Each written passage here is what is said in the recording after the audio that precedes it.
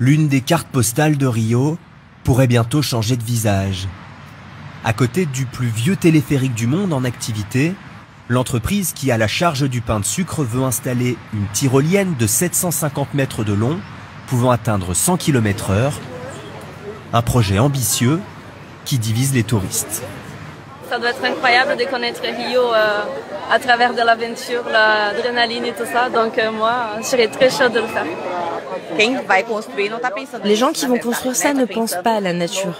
Ils veulent simplement gagner de l'argent. Je ne suis pas d'accord avec ça. Pour comprendre ce qui pose problème à certains habitants, il faut se rendre dans la végétation tropicale qui borde le pain de sucre, un lieu où se côtoient singes et randonneurs,